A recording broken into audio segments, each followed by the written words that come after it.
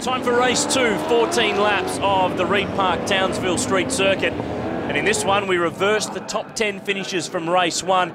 Let's have a look at the circuit, just under three kilometres and two tracks in one, really, isn't it? Yeah, look, it's got a, a, it's quite good. It's got a lot of a lot of everything really. It's it's got some high speed flowing sections and some really tight little bits. The run under the straight's really quite tight. Great passing opportunity there in turn 11. And part of the circuit goes through Reid Park, so it's kind of like Albert Park in Melbourne, where turns two, three, and the like are down on the, the regular streets and roads. So it's two tracks in one. Nick Percat starts from pole in the Rockstar Commodore.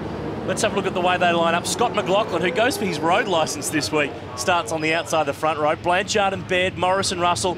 Ben McCashney, really good job from the young Victorian, just missed out on the inversion to going to pole position. But a really big field. It's great to see so many cars here this weekend. Wayne Miles has been busy on a tour of North Queensland. Marcus Zukanovic has switched to the sequential gearbox for this weekend. Marcus Marshall, Geoff Emery, Luke Youlden repaired and ready to run. And Aaron McGill equals the series record of 39 starts in rounds in the Fujitsu Series this weekend. Race two, let's get it going. Can McLaughlin get it off the front row? He's had a few chances this year. The young 17-year-old has been left on the grid this time again. And Percat sort of had a bit of a, a wobble there on the start, so uh, Stewart's probably have a look at that. Down to turn one, Taz Douglas second. Look at Craig Baird.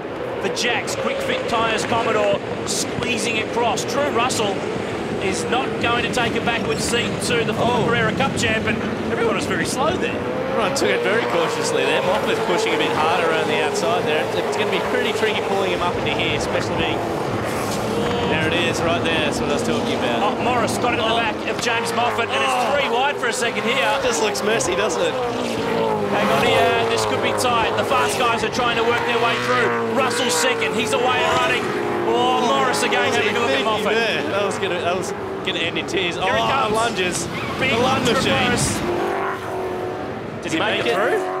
Where's the love? Oh, there's a bit of love in the grass there. Love in the grass. Oh, smoke from the front left as well, and Moffat slowing, so contact between Morris and Moffat. I don't know how he damaged that front left there, because he would have touched him on the right. Oh, Marcus Marshall in problems as well in the Matthew White Motorsport car. Serious damage to the left front down at the chicane. There's Morris making the big lunge, but I want to see what's going on here. Ryan Hansford with a big lock up. Oh, Rodney Jane just tags the back of Phil Foster. Oh. Yeah, that's a bit. That's quite heavy damage to the front of Marshall's car there. Let's get another look from on board with Jane and 67. Maybe you owed him one from last year. That is Morris's car from last year. Yeah, it is. And it was in this corner that Morris put Jane into the fencing qualifying. So I guess that's 15 all, but it doesn't help Phil Foster. Here's another angle. And Marcus Marshall just wrong place, wrong time in the background, but Morris was more over the grass than the curb. That curb on the inside there is very aggressive, so he's probably just hit it way too hard and it's uh, damaged the front there. There's a lot of, lot of damage there. The dude limping back to the pits. Nick Percat, David Russell up front. This is an awesome bit of the circuit here. Nice fast flowing section. Oh, Marshall hasn't made it around turn 10 and here come the leaders. Oh, he runs off. Time to get behind the fence, Eminem. Oh, the yellow flag's around. Looks like the safety car's going to be out in a second. Plenty of damage, plenty of stranded cars. What a way to start. Race two, round four. Morris in the pits there with Jack Perkins. The Love Commodore is out of love. We'll take a break.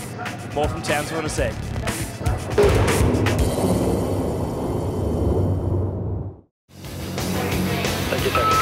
Back in Townsville, restart in race two of the Fujitsu V8 Supercars. Nick Percat is the race leader, David Russell second, Tim Blanchard next, but Taz Douglas is making a move towards the front as Craig Baird makes a move on him. Yeah, great move there. He's got a lot of experience. Owen followed him through, and uh, looks like Scott's trying to get a, bit, a few ideas off him too. Scott McLaughlin in the Fujitsu Falcon, just in behind Drew Russell. Then it's Todd Fiore in the Triple F Commodore.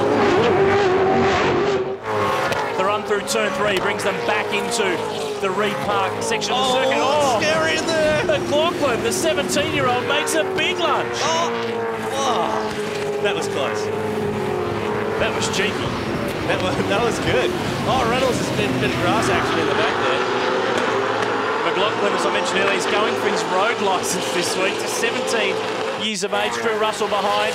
They've overhauled the shocks on this car since Winton. Look at Blanchard making a big, big lunge. And Owen on Baird in the background. But Russell is back up the inside. He's on the wrong side for the last corner.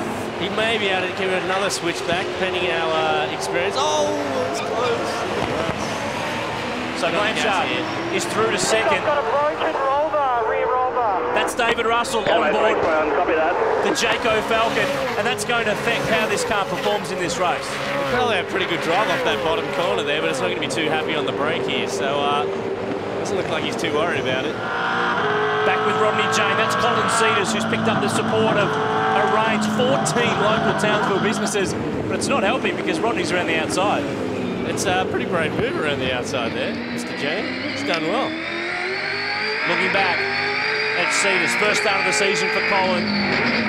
Hasn't raced since October last year, but here are our leaders. Percat leading the way. Blanchard, who's recently finished his accounting degree, he can focus now on the business of becoming a V8 supercar star.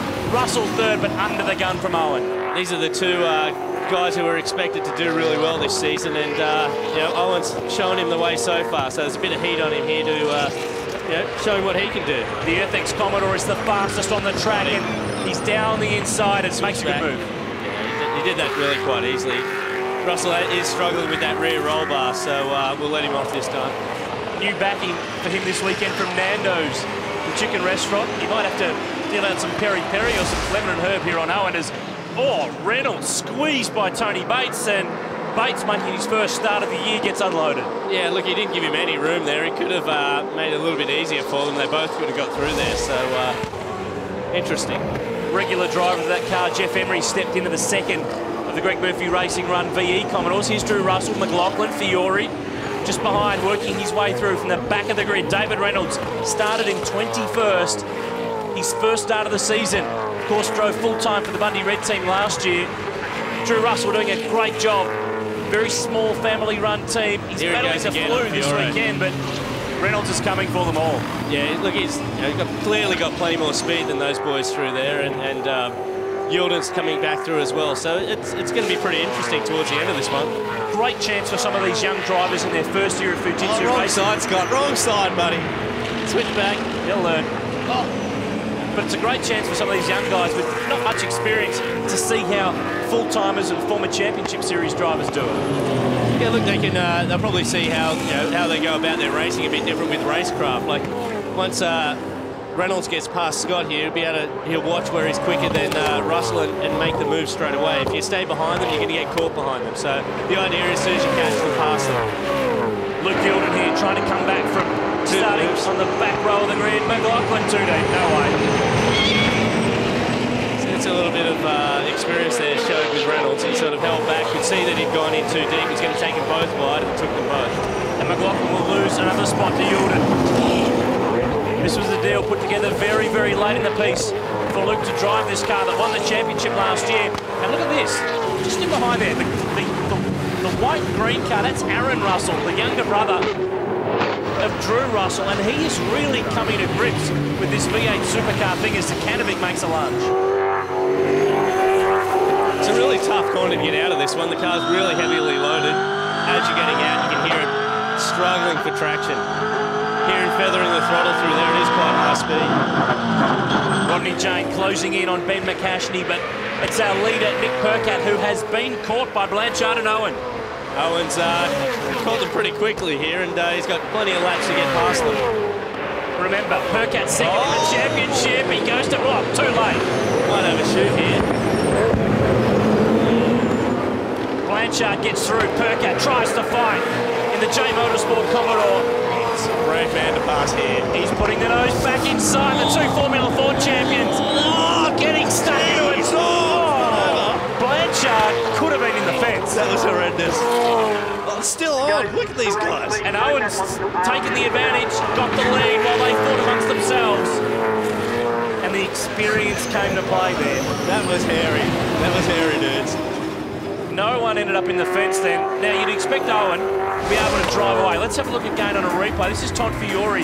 Oh, down the, oh, oh, oh, Luke Jordan dings the side of Drew Russell and sends the Zamana Falcon in the wrong direction. Uh, no, it's, it's hard to say here, but it is really Jordan's fault because he does pull right out of the way to get, try and get the switch back. This was close. Look at how close Blanchard is. This is scary. Look at this. Look how sideways he is. Damn. I think that's what he was saying too. Steve Owens through the lead. Race two.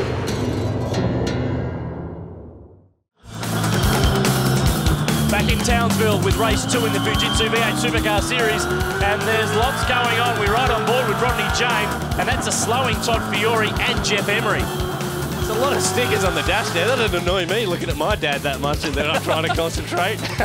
Emery wide, the front bumper of that car damaged.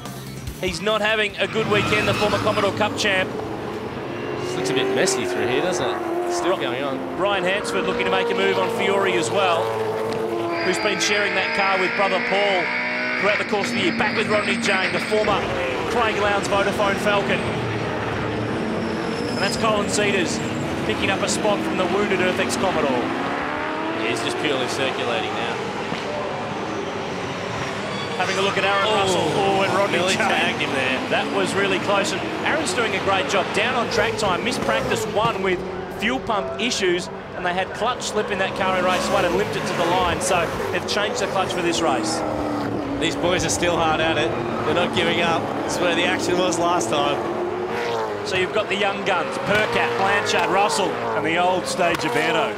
Beardo might uh, show these young young whippersnappers a, a thing or two here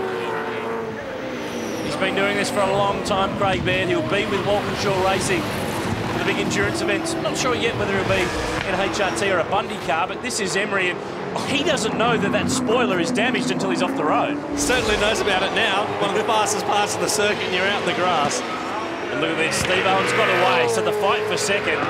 This is a grudge match. This is a blood sport. They are getting stuck into it so far, the young guns. Percat desperately trying to raise the budget for the rest of the season, has really impressed this year, has barely put a mark on this Commodore. Look, it's going to be hard for these guys. You get a bit of heat soak being in, so close to the cars in front of you. It's a street circuit. It's very hard on the brakes. So it's going to get squirrely under brakes for these guys. So to pass now is, uh, you know, it's going to be pretty tricky. I can't get over what happened back a couple of laps ago. That was amazing. And Blanchard's not done with yet some reports this week that he may make his Championship Series debut at Phillip Island with Greg Murphy filling in for the absent Yvan Muller, the French World Touring Car star, looking to be unavailable for that race. Rodney Jane in pit lane, that is a penalty for that contact earlier on that we saw. So not a good weekend for the Bob Jane Team Arts Falcon, but it's a great weekend if you're in this fight. And not too far away, Taz Douglas is sticking with them for a guy who's been so sick. He's done one test day and he's got his eye back in and he's on the money. There he is in the white Commodore in the background. That's just an amazing job considering what he's been through. It's, uh, you know, hat goes off to him. He's credit. There's Owen getting away. Last lap, last lap. And that's the word being given to the drivers. This race has been shortened by one lap, so it's now a 13 lapper. It's now or never. You see a bit of experience there from Craig Baird pulling out, trying to get a bit of cool air to his brakes so he could have a bit of a lunge. Percat with a little bit of a margin. Blanchard a little bit sideways in the exit of turn two. All the drivers would be aware of now that it's the last lap, so... Uh, oh, oh, oh, Percat with a lock-up. It's going to be easy to do. Stressful situation. Last lap, second place. A lot of heat from behind. And he's got one less lap to hang on with. This is a great part of the track where they flick left and right. Hard braking zone coming up here at the 4X Gold chicane. Look, as long as he can get out of this next little chicane, good drive, he's got a gap, he'll be fine. Steve Owen at turn 10, he's managed to sneak away as he's done so many times in 2010. But the fight for the minors has been a real highlight. Blanchard locked the rear slightly there, but uh, managed to get away with it. The last turn is his last opportunity. But Steve Owen bringing it to the line. He started from 10th, he's got his way to the front, and it's two from two for the Earthex Commodore for Greg Murphy Racing. Percat with lights ablaze. Good job, Nick. Good job. Hangs on for second. And what a drive. David Reynolds from the back of the field gets to seventh. It's amazing. It's great effort. We saw him charging through. Good bit of experience there. Luke Youlden just in behind there in eight from McLaughlin. Marcus Zukanovic, that's a good fight too. He started 22nd and ends up in 10th place. Aaron Russell, another consistent run. Problems for Tony Bates, Rodney Jane, and Wayne Miles rounded out the top 20. Steve Owen, win number five. That's a 50-50 win rate for you so far this year. Where do you need to start from to make it a challenge? well, we'll see come the Enduros, you know, it's a completely different level there. So, um, But this is good practice and the times we're doing this weekend are fairly competitive in the main series. So that's the main thing for me. Just keep pushing, not just for this race, but for you know the, the bigger races with Jamie. So that's uh, that's priority this weekend.